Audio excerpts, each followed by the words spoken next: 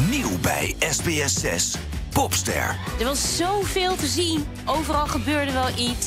Dit is entertainment, puur zang. Ik ben gewoon geraakt. Geraakt. En terecht, man. De allerleukste poppenex. Vrijdag om half negen bij SBS 6.